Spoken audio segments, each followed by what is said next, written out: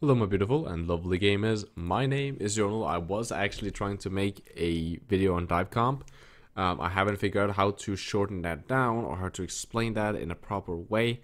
Um, so I would like to ask you guys how uh, how much do you guys actually want to see a video or multiple videos explaining dive on a much higher level, on a much more detailed and well, yeah, a higher level and way more advanced and complex version than just leap something and kill it. Um, how much do you guys want to see that? Because uh, then it might take multiple videos, or I will have to put in like way more hours in trying to make make an explanation that makes sense. Because I want to make everyone understand it, while same time not make the videos 50 fucking hours long. Um, so please tell me down in the comment section or on Discord where you can tag me at Jonal and tell me if you're interested or not in that type of video. Now, today we're actually talking about something different, and I'm sick, so I'm very sorry for my voice. I fucked up. It's it's my bad. It was it was well worth getting sick for, but I'm still fucking sick. Um, so today we're talking about because I've been playing League of Legends with my friends. Yes, believe it or not, I know someone, some of you guys are now shaking your heads in disappointment, but yes, I've been playing some League with my friends. And in League of Legends, if you've never played it, there's a ban system essentially both sides, so 10 players, get a ban each. Ban one champion in ranked and so on. And I was thinking a little bit, hmm, wonder how that goes for Overwatch. Now, logically, you can't have 12 bans in Overwatch, because all of a sudden, like, half, like, you can ban, no joke, like, all here, just all healers then, at that point, right? Um, so I was thinking, um, how would it be if we implemented a, you can ban one hero. Both teams can ban one hero each where it would be some kind of voting system. Essentially, you apply who do you want to ban, and then uh, everyone does that, and then you vote for those heroes, and you can't vote for your own hero, essentially the one that you decided. And if everyone for some reason votes for a separate hero, then you get a chance to change your vote. And if you don't change your vote before the timer runs out, then the computer just chooses one of those randomly. I think that's the best way for me essentially to implement that. If not, then it's like uh, you give one guy the, the, the role as like team captain or team banner or whatever, and he then chooses what hero he wants to ban. I just imagine that would be way more trolling. And how would that actually um, affect the meta? I think that that was that was incredibly a, a fun uh, discussion. I would like to hear your opinion. What do you guys think down in the comments? As always, I read your comments and I love the input and I'd love to get a different perspective from it. So how I am imagining this would actually work is that in rank you would just ban whatever is quote unquote broken. Essentially, whatever Reddit tells you is broken would get banned. Meaning Brigitte would be banned when she was released, Moira would be banned when she was released, right? And so on. Essentially, you just ban whatever people don't like to play against or whatever people think is kind of cancer to play against. Um, I wouldn't be surprised if you would see Widowmaker bans. Um, especially, I wouldn't be surprised if there would be some people that would ban Widowmaker because they didn't want a Widowmaker on their team, um, and so on. That that that would not surprise me if people would actually would waste their bans like that. Um, but how I think that it will work towards the pro meta and so on is banning of the main tanks especially. Because as soon as you you ban a main tank you essentially start denying a lot of it. Uh, team compositions are explained from their main tank. Normally we take a look at the main tank. So winston means dive Rein means uh, death ball or goats which still is a death ball and then orisa means poke comp right?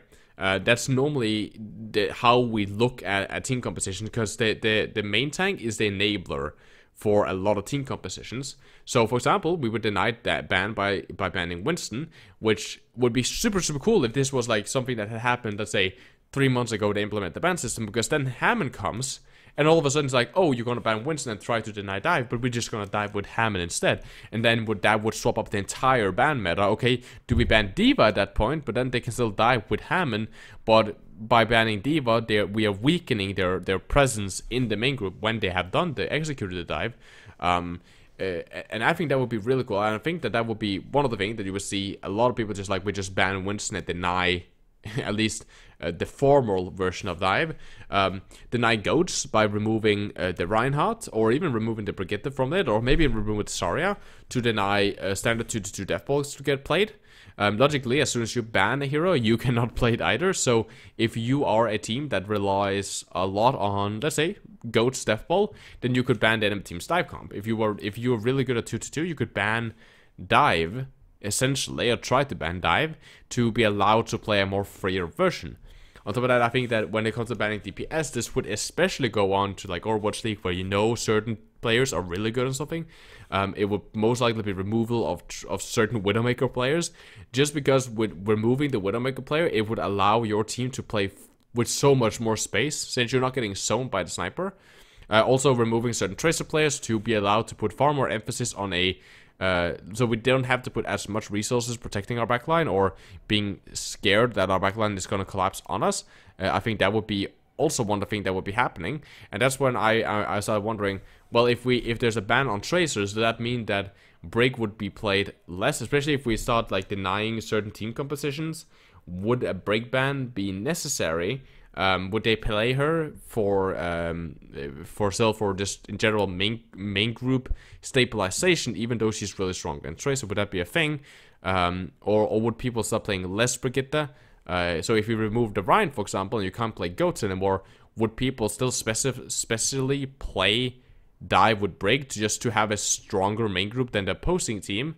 Or would that be something that people were not interested in anymore if you if you move certain uh, counters or certain essentially team composition that can be played?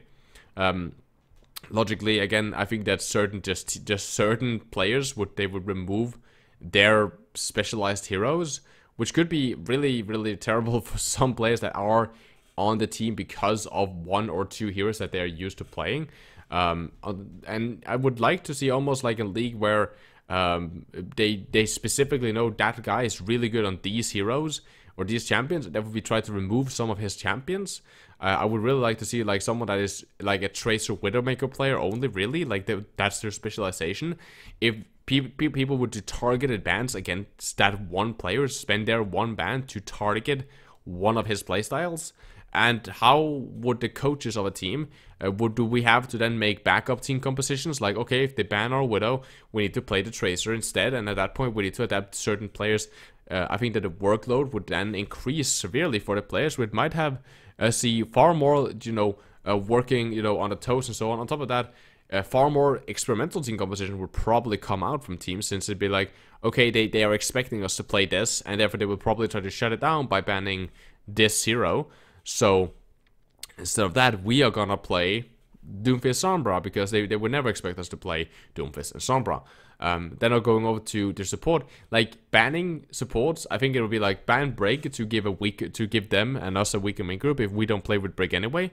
Um, so for example, okay, we uh, we want to play two two two heavy dive with Genji Tracer, uh, Winston and uh, and D.Va. Okay, ban Brig. That way they don't have stuns, they, they don't have a, as strong main group, and that can be easy for us.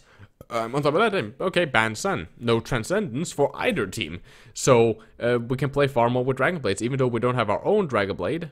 Now we don't have our own Transcendence either we can play with Dragon Blades. So maybe, okay, but then we'll play with Ana. Then we'll just play for Nano Blades, constantly play for Nano Blades. And it doesn't matter if they try to adapt over to a Genji, um, because we still, then they will also have to adapt one of their players over to a, um, to to uh, to an Ana. So can you imagine like uh, Seoul Dynasty, for example, banning Zenyatta, so Regen can play Ana, and then you can play with a Lucio or whatever you absolutely need a saving grace, and then you have Nano Blades coming out from, for example, Fleta, and you also and then you have standard dive comp coming in from them and removing a tracer player. Uh, for example, against NYXL, so that JJoNak is not allowed to play his his godlike Zenyatta.